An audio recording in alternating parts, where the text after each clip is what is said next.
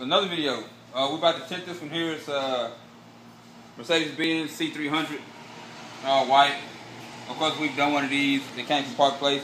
It's a buddy of ours, uh, uh, bringing it in. Doesn't have any tint on it right now. It's glass house. But I mean, it's a real nice car. Something I could never get used to because I don't what the car knows. But it's a nice looking vehicle. Yes, it is. So, alright, we're, uh, gonna cut this video. In the next video, we'll have the car tinted. ¡Otra So, limpiar, uh, cabrones! Chevrolet J10 Auto Impression TV. We are Out.